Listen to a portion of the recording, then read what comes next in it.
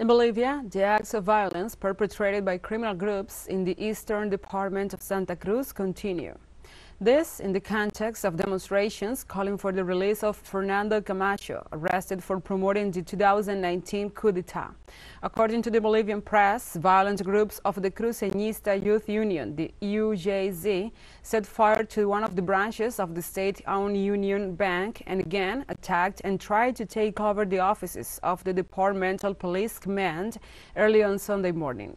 The clashing groups attacked the police with pyrotechnics and caused destructions in the commercial center of the city.